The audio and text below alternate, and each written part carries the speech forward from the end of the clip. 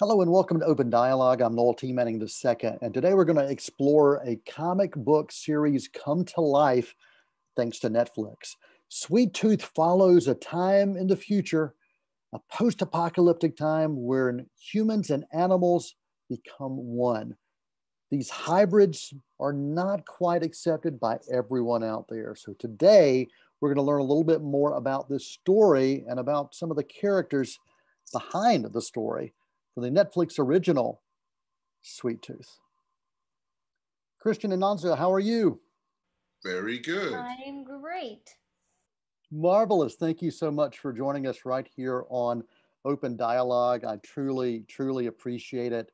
Uh, real excited about uh, Sweet Tooth uh, and, uh, and what you bring to it. And I would love to hear from both of you. How familiar were you with the original source material prior to uh, accepting and taking this on? And, and if you were not, did you go back and revisit that source material?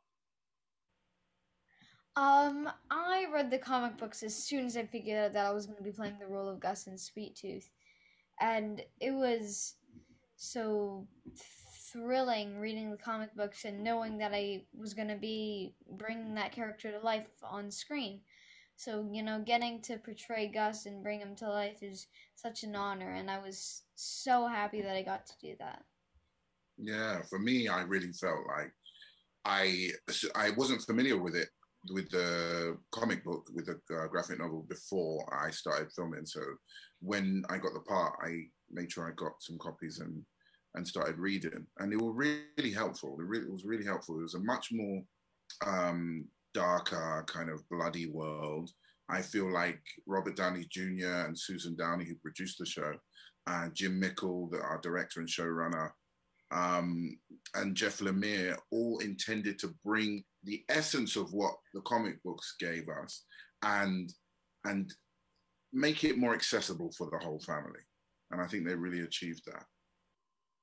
Now, for each of you, do, do you find that you're more drawn to the characters or to the stories or both, and why?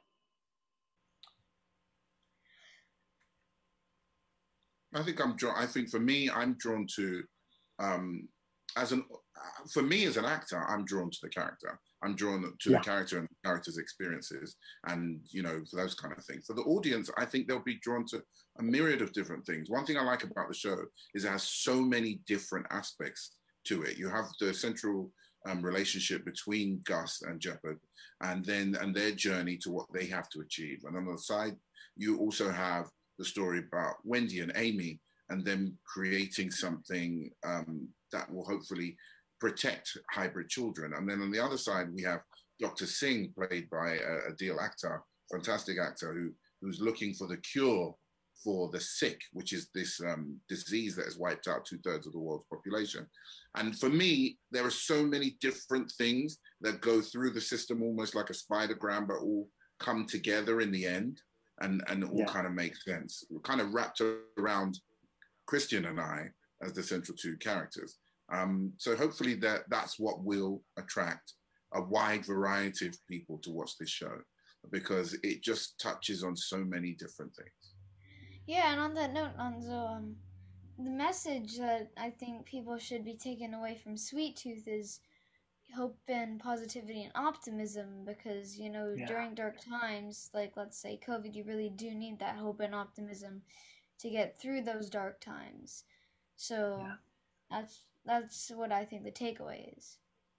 Yeah. So, what have the two of you learned from each other after spending this time together uh, on this journey? I've learned that kids can be smarter than you. I love it. Um, I have learned that six foot six is bigger than I actually thought it was. Yeah.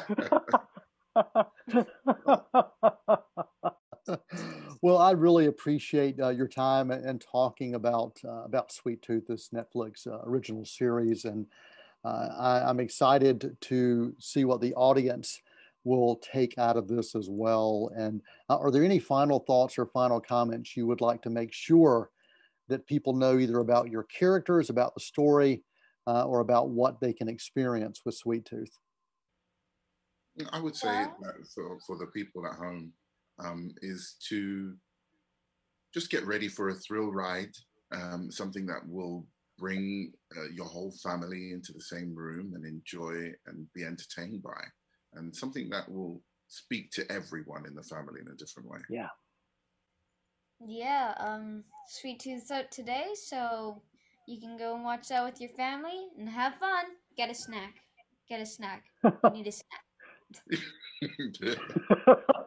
and make sure it's a sweet snack, correct? Yes. Yes. Christian Nonso, th- th- thank you both so much. Yeah. Thank you. Thank you. Christian Convery and Nonso Anozie, we appreciate you both for taking the time to chat with us right here on Open Dialogue about the Netflix original series Sweet Tooth. It's well worth your time, and it is something that families may find some connections to. For Open Dialogue, I'm Noel T. Mays.